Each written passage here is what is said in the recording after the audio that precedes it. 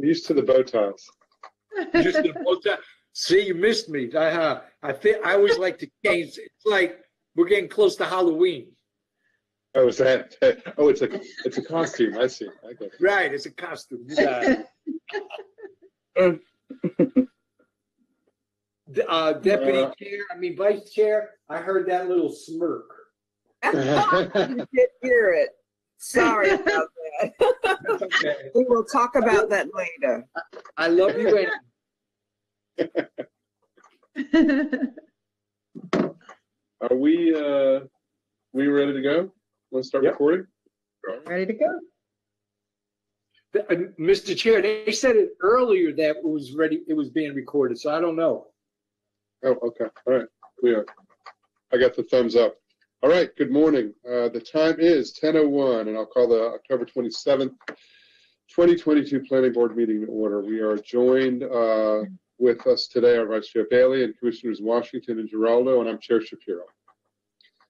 Um, Moving forward to the business at hand, please note that the deadline for all participant pre-registration and for all submission of materials and exhibits was 12 noon on the Tuesday before this planning board meeting. Uh, That is uh, on the screen before you, and um, and it's announced in every weekly meeting as well.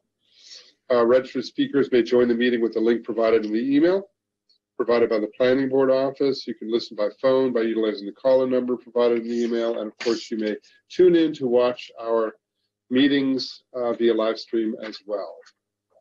If you wish to speak or become a person of record, you may use our online web form, which you will see uh, noted on the screen in front of you. So in addition to the commissioners, we are joined by our Deputy Planning Director, Derek Berlage. We have our Associate General Counsel, Delisa Coleman. Uh, Marie Proctor, our Senior Technical Hearing Writer. James Hunt, who is the Division Chief for the Development Review Division, is here. Commissioner Doerner is here. Yay. All right, we have a full contingent here.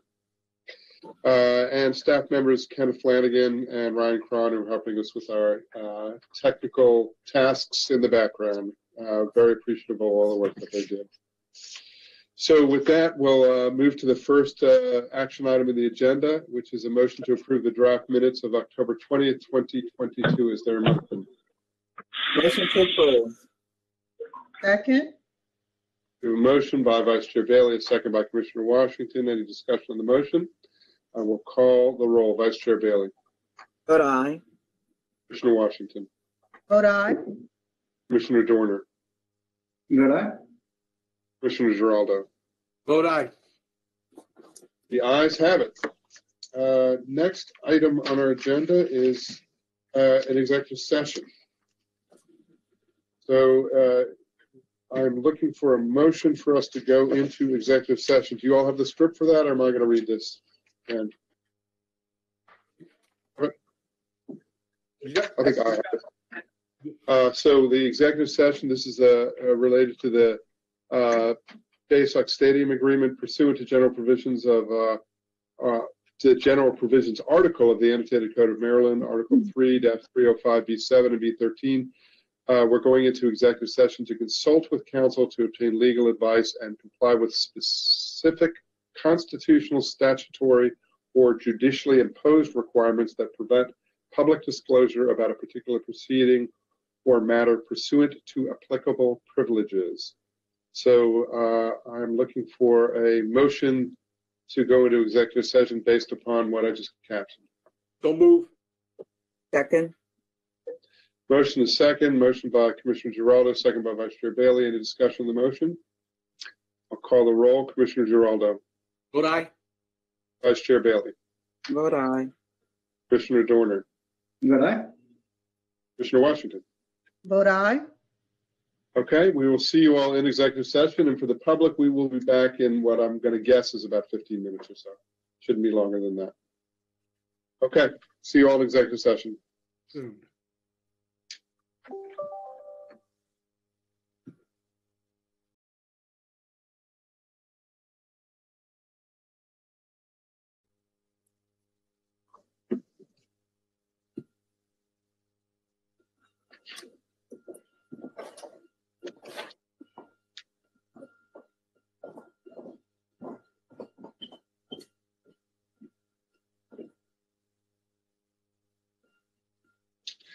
Ms. Coleman? I've got a process question. Um, so now that we're back, uh, item 3D is the Prince George's Stadium lease on our agenda. Is that where we will ratify the action that we took in executive session, or is that So just kind You of? may want to go ahead and move right into that for flow purposes, but yes, you ratify it. Sure, hold on one sec. I have staff coming here too.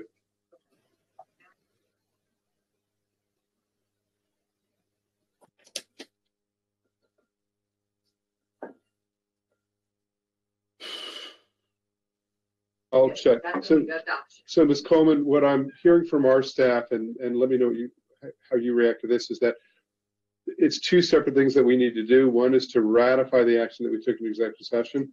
And then the next thing would be to actually adopt the uh, resolution, uh, the Baysox Stadium Agreement. Is that your read on this too, that this is two separate actions?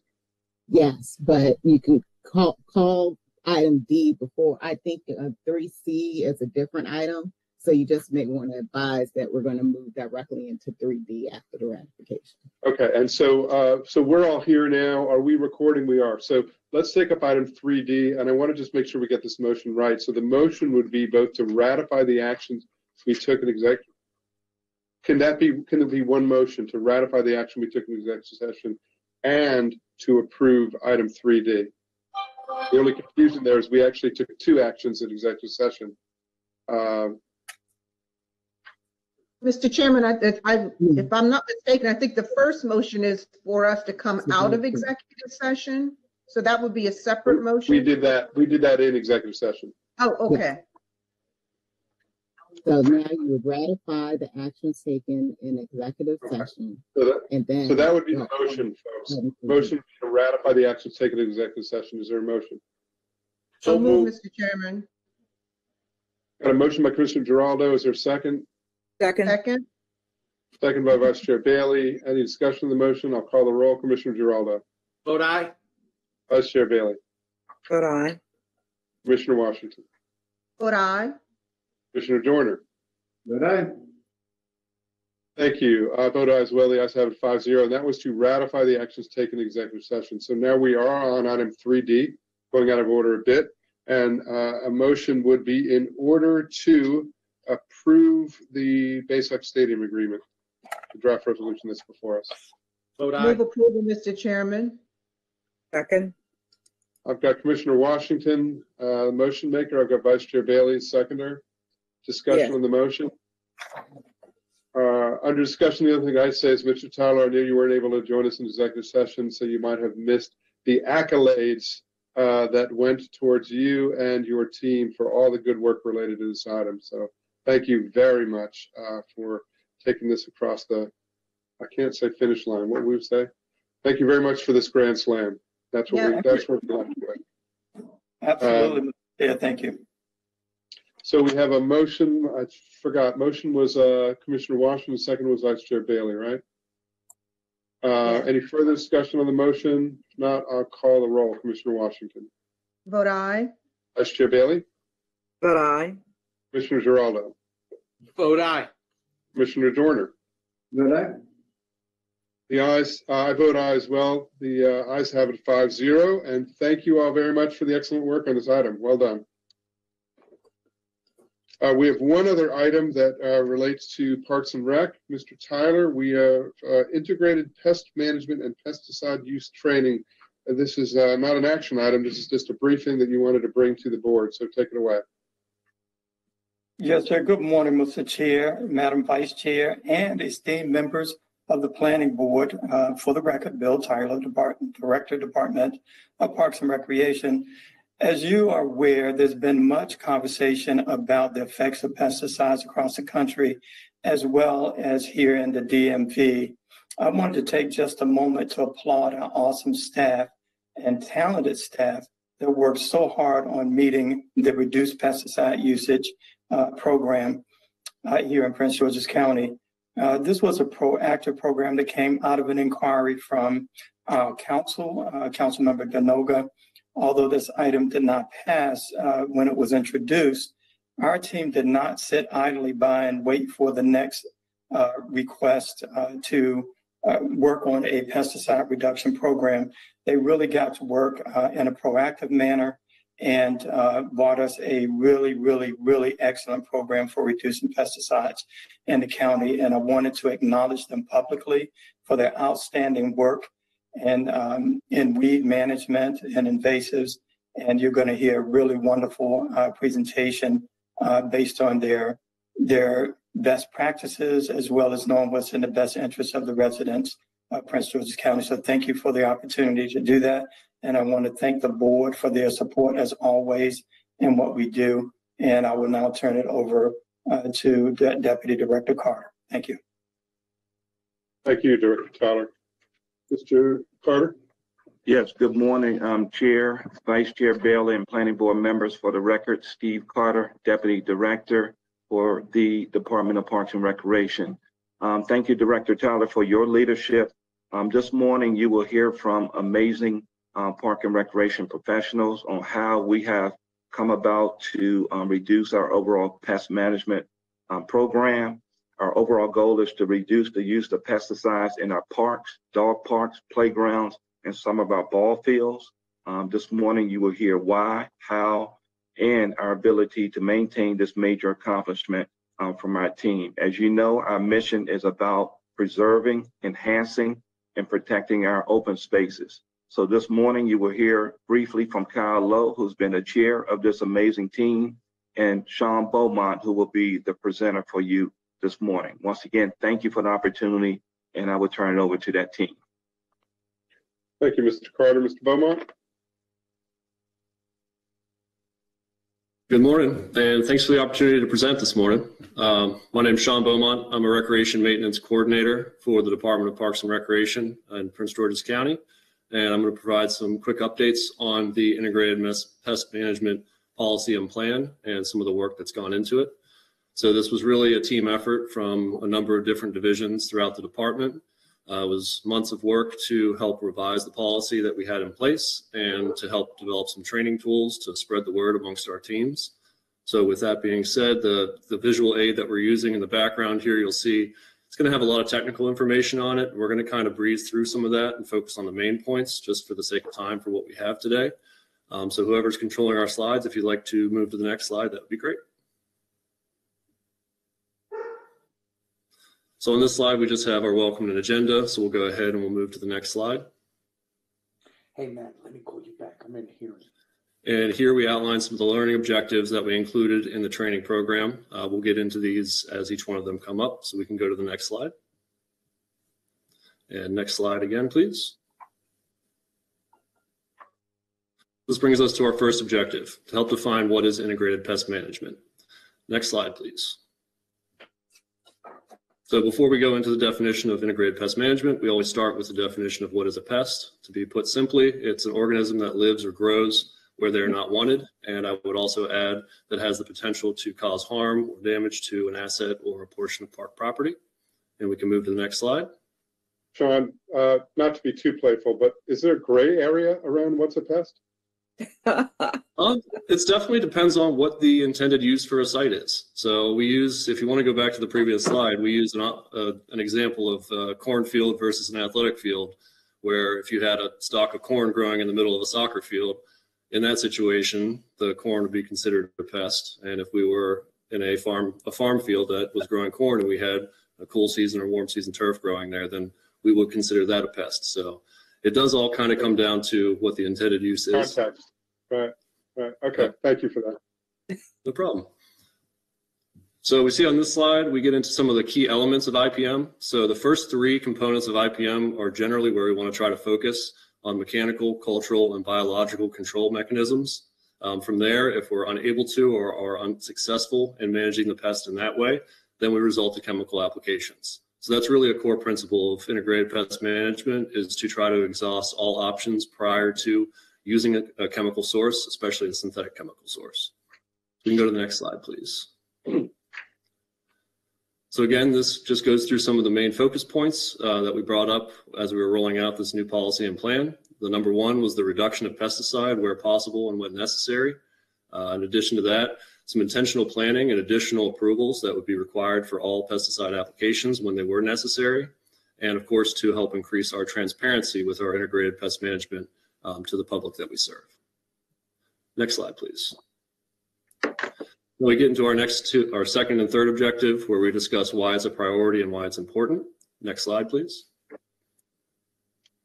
So one of the big reasons why it's very important for us as a department is that we have an obligation to make sure that we're following all regulations in place. We know that there are federal and state regulations that are in place, and we included the graphic of Prince George's County seal there to help mention that if you follow current trends and the ways other municipalities have been faced with specific legislation on pesticides, there's a potential for it to come up in the future, and it's most important to be proactive. So we can move to the next slide. In addition to that, it helps us to remain in alignment with the mission statement and the vision statement that we put out to the public. And in the national body for recreation and parks associations, um, we wanted to try to make sure that we could be better aligned with their core values. Next slide, please. Some other reasons why it's important, of course, the health and safety of not just our employees who are making applications when necessary, but also the general public as they visit our parks.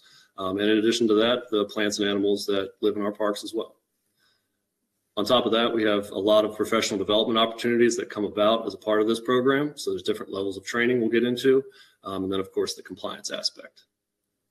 So now we're in the best practices portion of the presentation. We can go ahead and move to the next slide. This is where things start to get a little bit more technical. We'll go through these, but these are some non-chemical methods we can use to manage pests in our parks. Next slide, please. We talk about modifying pest habitat sites and making sure we're not transporting pests from place to place. Next slide, please. We Talk about scouting records and uh, documenting any pest outbreaks we may find and the importance of early detection. Next slide. Talk about understanding the population levels and the life cycles of the pests so that we're not just doing blanket applications to control a single pest. We're making sure we know at what life cycle is it in and how can we most efficiently manage that pest.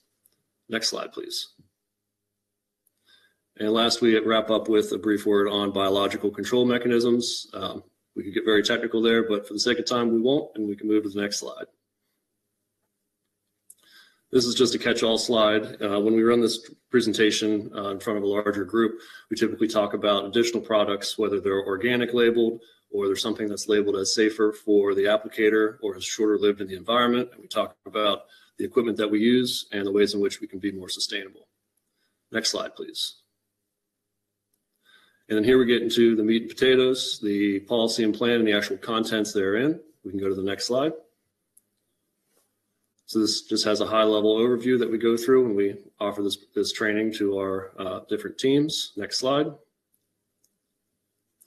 And so here we start to talk about training. So we have three tiers of training that we offer to all members of the department. The first being general familiarity. We'd like all of our different teams throughout the county to be aware of the new IPM uh, program and policy and then for our folks who are actually applying the pesticides when needed, we have two tiers of applicator status that they can achieve. One basically is proctored internally through the department. Another is proctored through the Maryland Department of Agriculture. All those records do go through the Department of Agriculture, regardless of registered versus certified. Next slide, please. And then this is a big change for us. So this is how we have improved the approval process for pesticide applications um, where now it requires a division chief or their designee to make the final approval. So it's not just an applicator asking to make an application and their supervisor saying yes or no. Now it needs to go through additional levels of scrutiny before we go ahead and make an application. Next, next slide, please. Okay. And then on this, we talk about another really big change that we're extremely proud of. The pre-notification mandate that we put forth internally so that we are notifying the public on a public facing web page um, that can be found on a QR code sign that's been posted in our parks. So the public is aware of any applications that we plan to make. Our applications typically are put on this website the Wednesday previous to at least the Wednesday prior to the Monday where we would begin the application window. And in addition to that, we discussed some other notification mandates that were previously existing that we'll have to still continue to follow. So like the yellow sign you see on the screen, that's something that has to be put down after each application saying what was applied, when it was applied.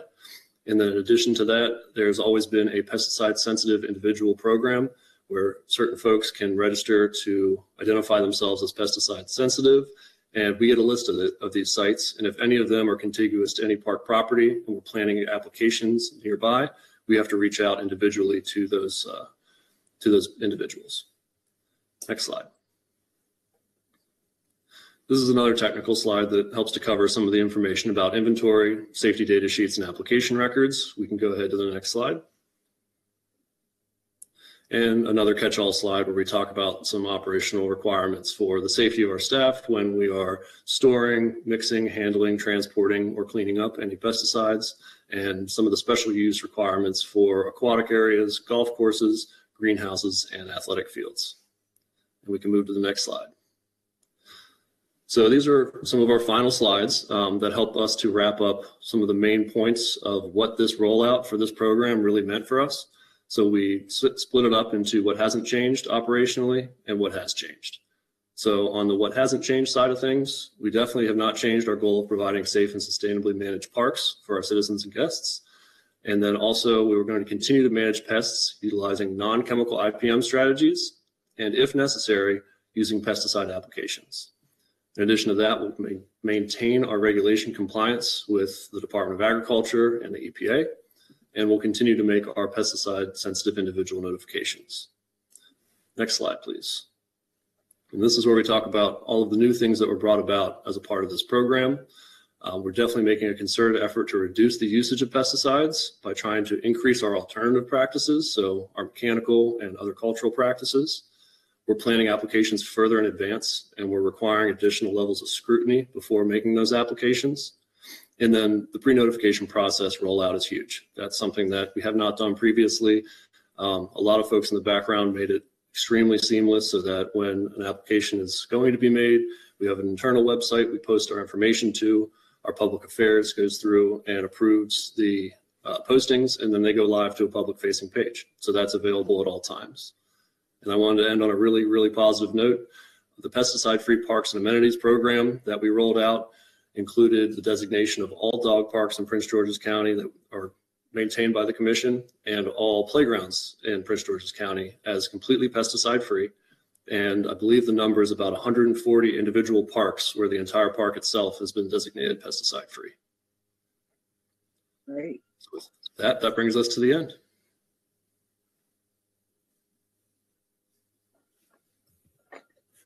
Sorry, I was on mute. Thank you, Mr. Beaumont. I appreciate that presentation. Uh, um, Questions from my colleagues for staff related to this item? I just have one question on, on kind of a, one part of the getting rid of pests. Um, so when, when I think of pests, I'm from Florida, um, mosquitoes are always in the back of my mind. Um, and, and Disney does a fabulous job at not having any kind of like pest in its, its parks, partially because they drained all the swamps and kind of cleared out everything.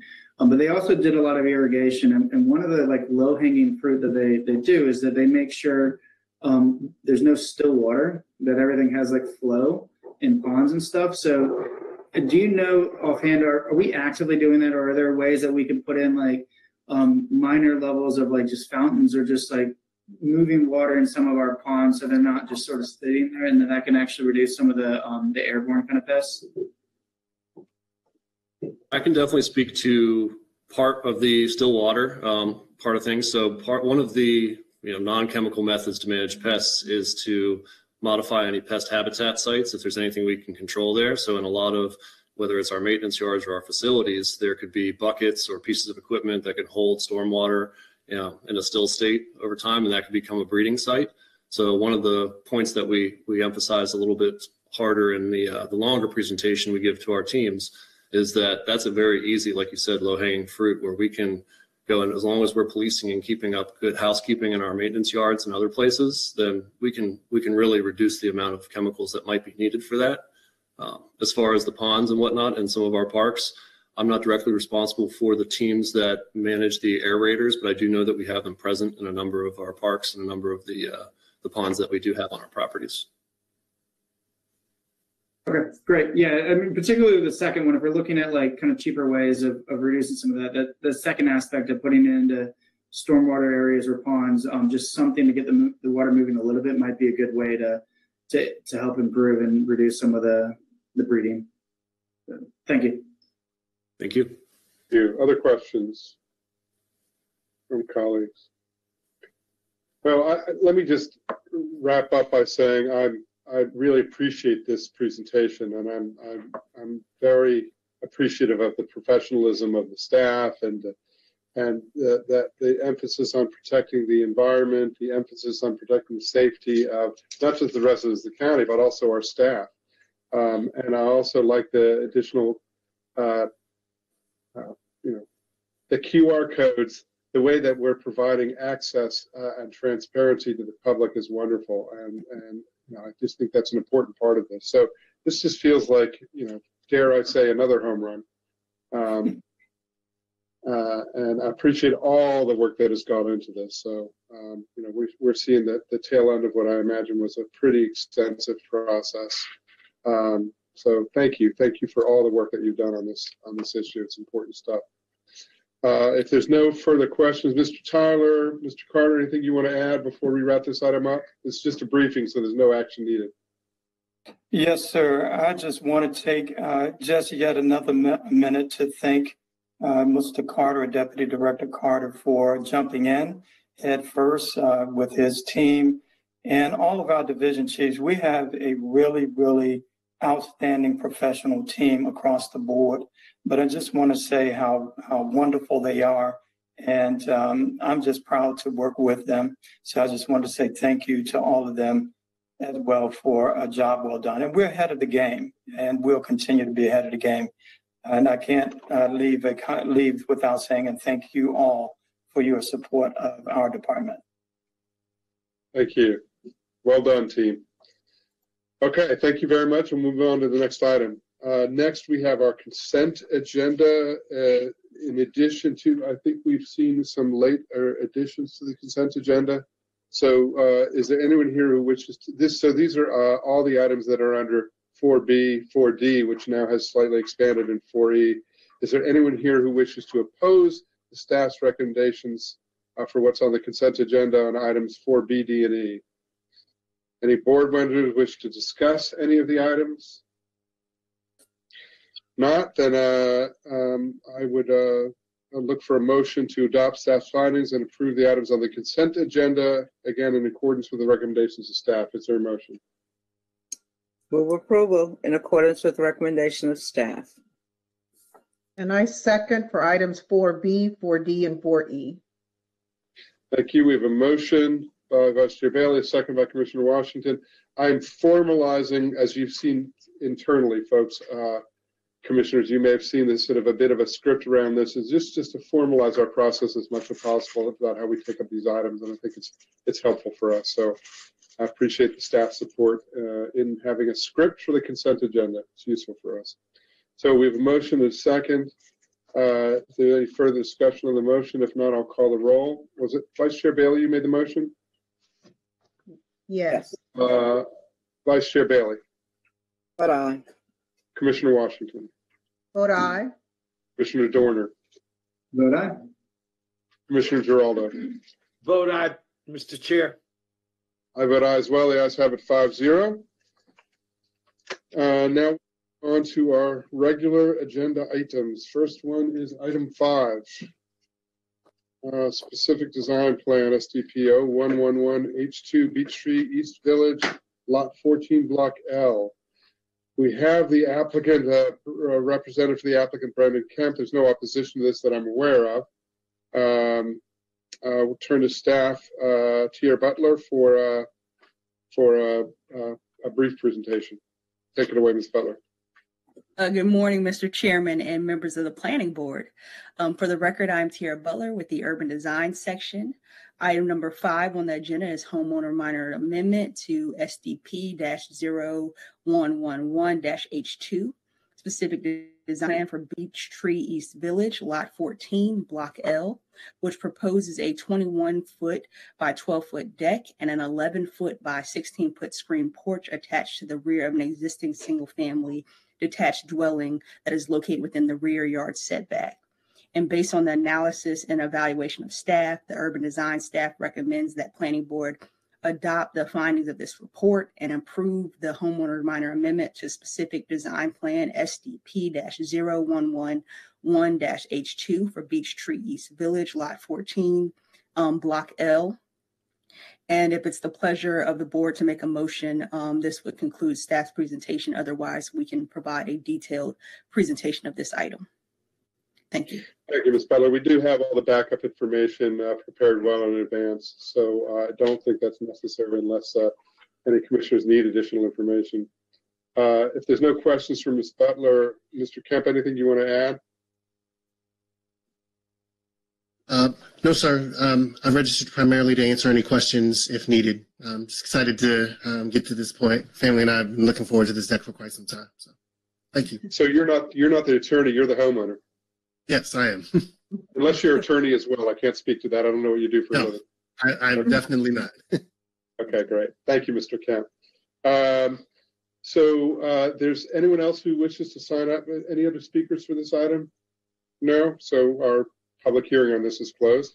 Uh, Staff recommendations to approve the conditions for SDP dash oh one one dash H two. Uh, What's the pleasure of the board? Is there a motion? Mr. Chairman, I move that we adopt the findings of staff and approve homeowner minor amendment to SDP dash zero one one one dash H two. Second. We have a motion by Commissioner Washington, a second by Vice Chair Bailey. Any discussion on the motion? Only discussion was that there were some recommendate, there were some conditions. And so if, if the motion maker would adopt to add conditions besides findings. There are no conditions for this item. It says it on, it says staff recommendation with the conditions recommended herein. So I'm just going based upon what's in the, uh, It, it does. Ms. Butler, can you clarify that for us? Um, there are no conditions on this case. Um, the, the next case, however, does have conditions. Right. The CSP for Okay, Upper so then Marlboro it's- Gateway has our conditions, notes are but off. Beech Tree Village does not have any conditions. So our notes are off and it's fine, then we're all, we're all on the same page. So the motion stands as is. Uh, we have a motion and a second. The only thing I'd add under discussion, uh, assuming that there's a positive vote on this, Mr. Kemp, just want you to enjoy the additions, the new additions to your home. Um, and with that, I'll call the roll. Uh, Vice Chair Washington, I'm sorry, Commissioner Washington. I vote aye. Sorry about that, Vice Chair Bailey. Vice Chair Bailey, your vote? I Vote on. Commissioner Geraldo, I vote aye. Commissioner Doerner. Vote aye, enjoy your deck and patio. I vote aye as well. The ayes have it five zero. Thank you, Mr. Kemp. Thank you, Ms. Butler. Thank you. Next item is item six, uh, CSP 21003 Upper Marlboro Gateway property. Uh, We have the applicant Abdullah Hijazi, and again, Ms. Butler with the staff. Uh, We, uh, I don't believe we have any opposition on this item either. Uh, Staff will be uh, stating some administrative corrections for the record, um, and I'm not sure there's a need for a presentation, but let's, well, I'll leave it to you, Ms. Butler. Take it away. Uh, good morning again, Mr. Chairman and members of the Planning Board. Uh, for the record, I am Tiara Butler with the Urban Design Section. Uh, the item number six on the agenda is CSP two one zero zero three, conceptual site plan for Upper Marlboro Gateway, which proposes the development of one hundred and fifty-three multifamily dwelling units and um, thirty-one thousand six hundred and seventy-eight square feet of commercial retail space. And based on the evaluation and analysis, the urban and design staff uh, recommends that planning board adopt the findings of this report and approve um, conceptual site plan CSP two um, and type one tree conservation plan TCP one 15 two zero two two for Upper Marlboro Gateway, uh, subject to the conditions found on page 15 and 16 of the staff report. Um, as stated before, there are um, two administrative corrections um, to the title sheet to include the correction of the gross floor area to read um, 31,678 square feet and the correction of the posting date to read September 27th, 2022. And then the applicant did provide um, revised conditions to amend condition number five to include um, the words and or recreational facilities. And then also um, the applicant provided um, an amendment to condition um, eight uh, one B to include the words unless modified by um, SHA by written correspondence. And staff is in agreement with the, um, the applicant's um, revised conditions. And if it's the pleasure of the planning board to make a motion, this would include staff's presentation unless an other, uh, otherwise detailed presentation is needed. Thank Thank you, you. Ms. Butler. Any questions for uh, staff on this item, commissioners? I, I do, Mr. Chairman. Uh, Ms. Butler, could you clarify with, re- with respect to staff exhibit number one, that this document includes revisions to the findings as well as the condition? Um, uh, no, ma'am, not, uh, revisions to the findings, um, revisions to the, um, title sheet were the administrative items, and then, uh, just the two revised conditions, condition number five, and then condition number, um, eight one B. Um, no revised findings. Okay, then I guess I'm a little confused. Because staff exhibit one speaks to the transportation planning section, and it Oh, yes. details conditions.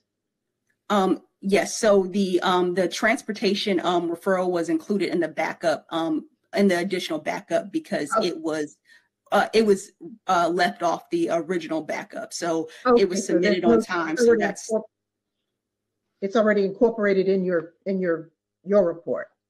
uh, yes, ma'am, but it wasn't, it wasn't included in the backup that was, the original backup that was published online, but it was submitted on time. So that, I guess that was the other administrative error. So we included it in the additional backup. Thank you, Ms. Butler, for clarifying. I appreciate it. Other questions for Ms. Butler? Uh, Ms. Coleman, you want to bring something in?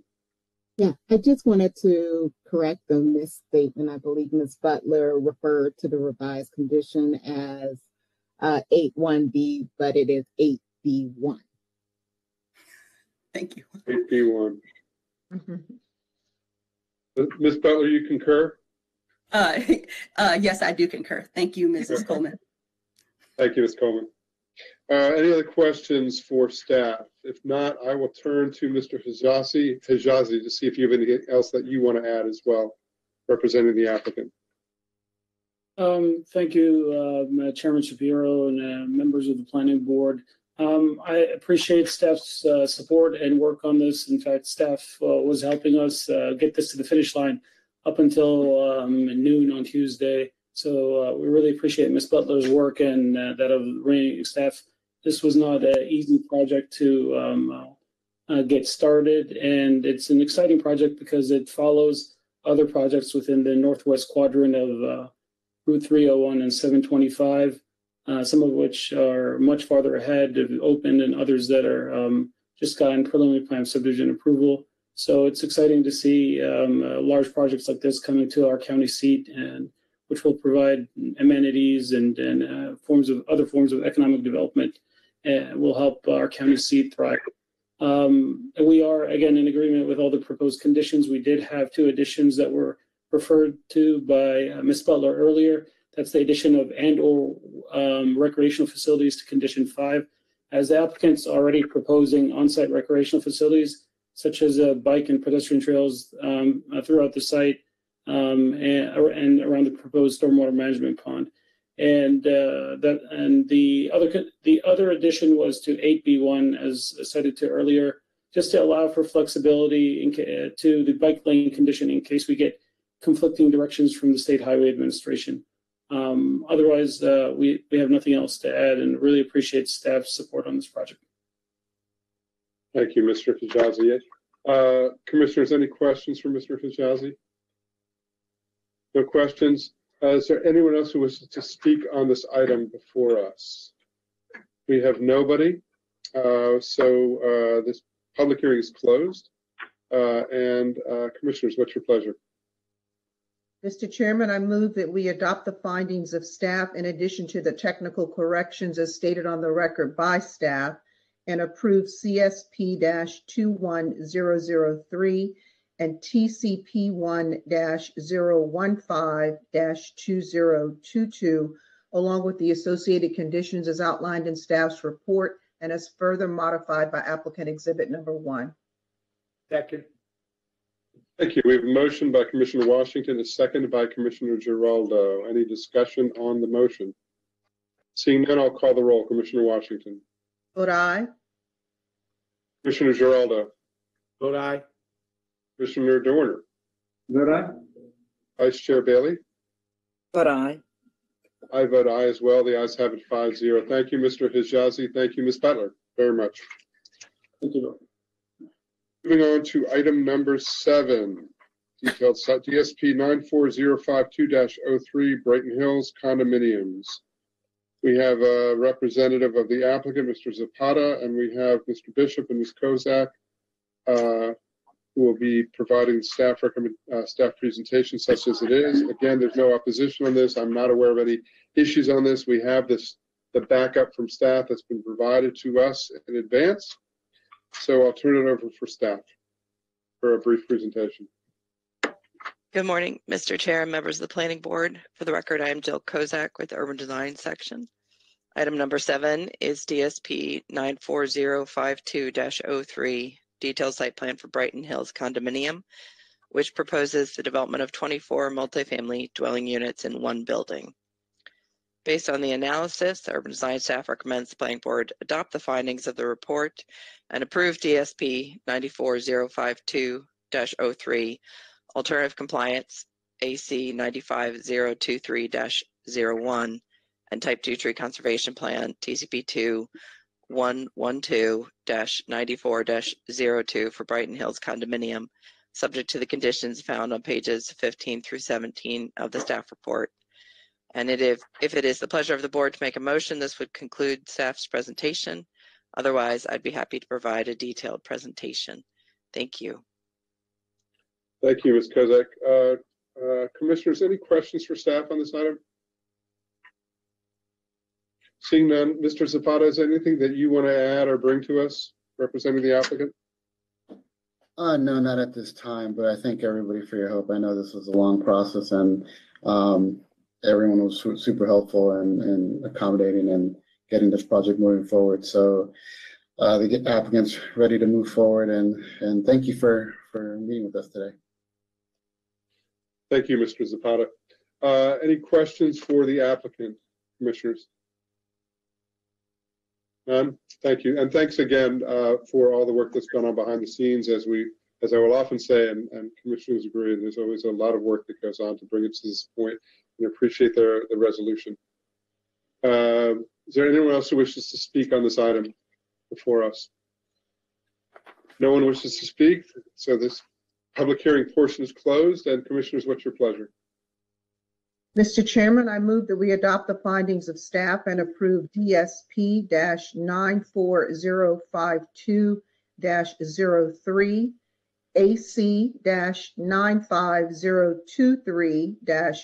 one and TCP two one one two 94 2 along with the uh, associated conditions as outlined in staff's report. Second, Motion is second. Uh, Any discussion on the motion? I'll call the roll. Commissioner Washington, Vote aye. Commissioner Geraldo, vote aye. Commissioner Doerner, Vote aye. Vice Chair Bailey. but I, I vote aye as well. The ayes have it five zero. Thank you, Mr. Zapata. Thank you, Ms. Kozak. Last item on our agenda is agenda item number eight. Community Planning Division was request for approval of per project cost increase from 65,000 to 80,000 for the planning assistance to municipalities and communities program. I'll turn it over to Mr. Sams and Mr. Stachura uh, to give us a, a presentation on this. There, this is an action item, so um, uh, we'll look for a motion after the presentation if uh, if we agree with staff's recommendation. Take it away.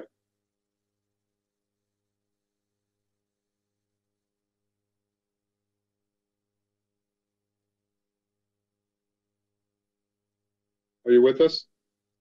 Uh, Yes, uh, good morning, uh, Chair and uh, members of the Planning Board.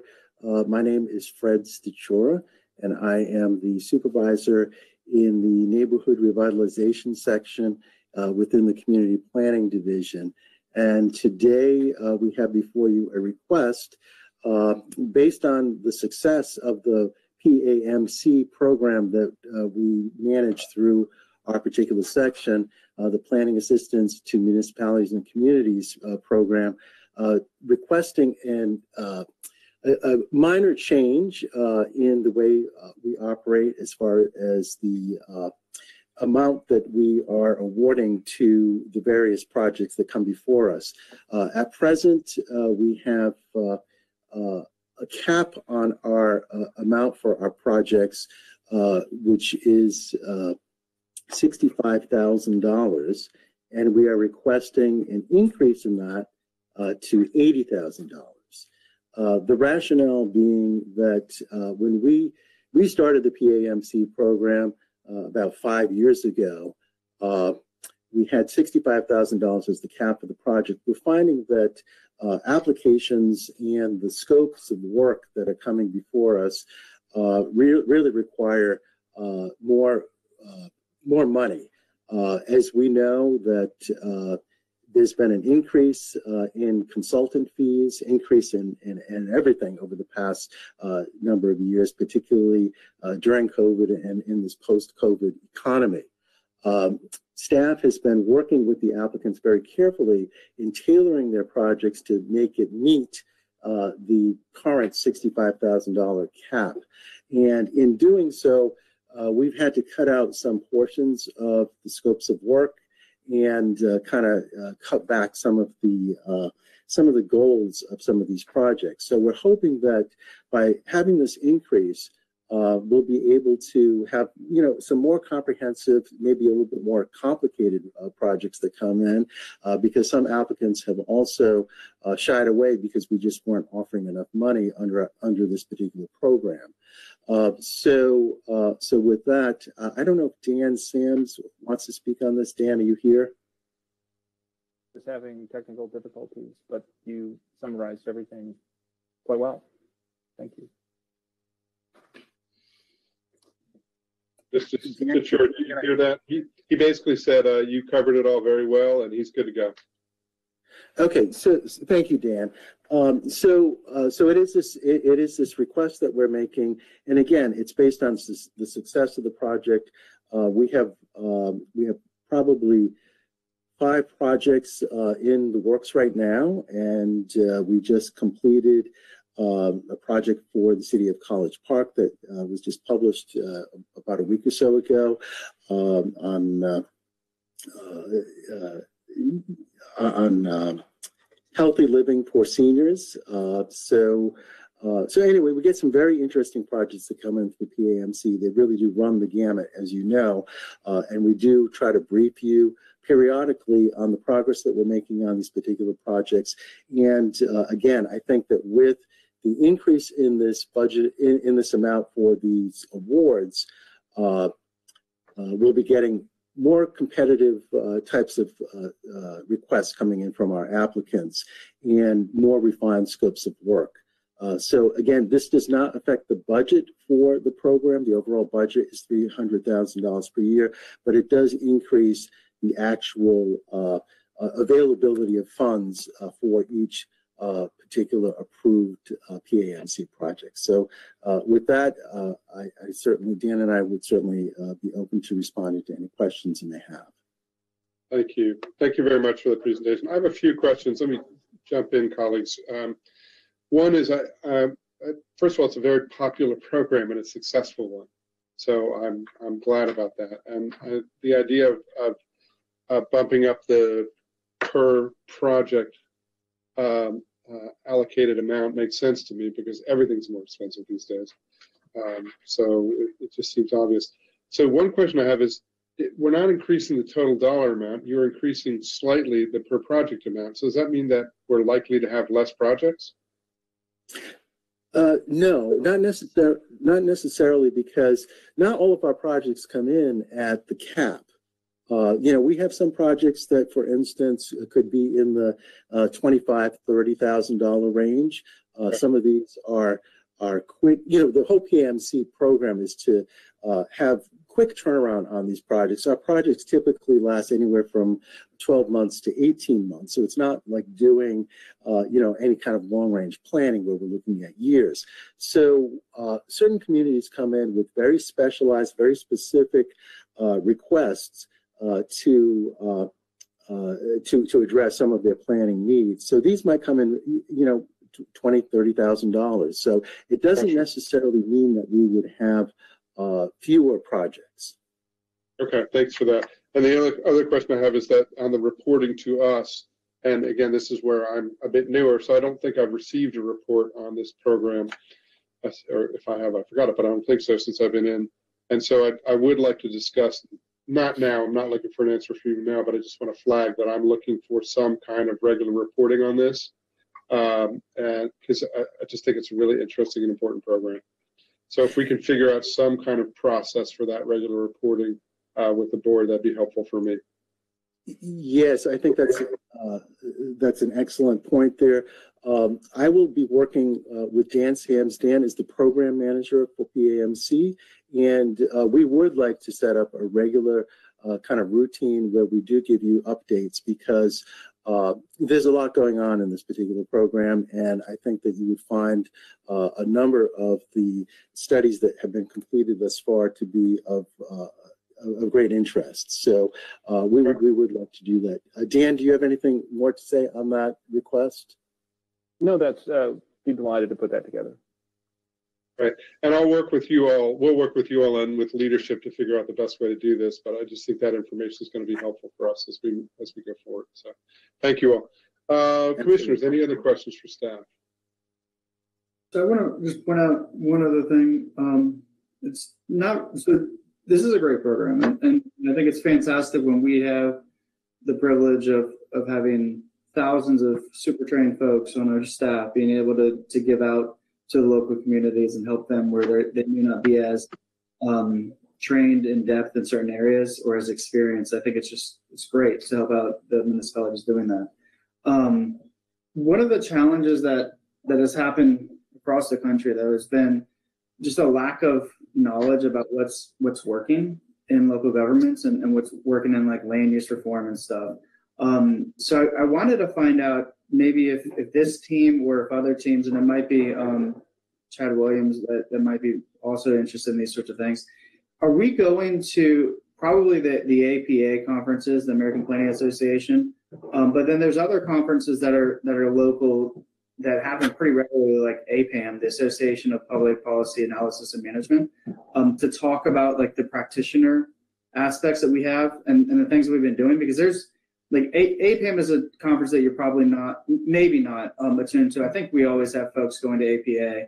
Um, but APPAM has a couple of sessions. They're always up in like the DC or Baltimore area almost once a year.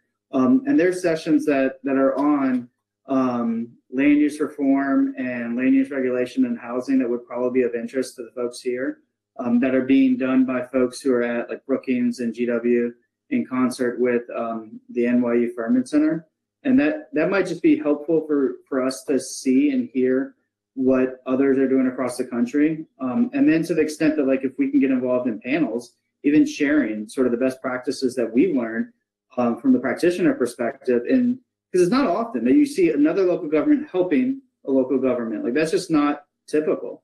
Um, and and frankly i think it's fantastic um, doing that and just sharing that experience would be really good for others to know um, and then you may learn things from from these sessions um, about what what different places are doing across the country or challenges that they're encountering as well, and, and be able to bring it back to our, our county. So, or do we participate? I know we participate in in the APA. At least we have some planners to go to that. Um, do we do like APM as well? Uh, well, yeah, I think you, you, you raised some really good points, and I just want to address a couple of them. Uh, you know, we're very proud uh, of this particular program because, uh, you know, this is uh, uh, this is a great resource, as you mentioned, to our local municipalities and communities. And it is not a grant program in the sense that we have this money allocated to these particular projects. We remain in control, you know, of the project itself. Uh, where, wherein if it's a consultant-driven project, we're responsible for managing that consultant. Uh, PAMC also allows for in-house work uh, directly on these projects as well. Uh, so we're in constant contact though with the applicant and we help, you know, as I mentioned, refine the scopes of work to make it really fit what that applicant, what that municipality is looking for. So it's a unique kind of situation here in that it's it remains within the control of you know, our, our staff here. Uh, we do, uh, we're fortunate we do have a budget, you know, for training, and we are looking out, uh, you know, to go to these uh, different conferences, as you had mentioned, and we have been uh, participating as well.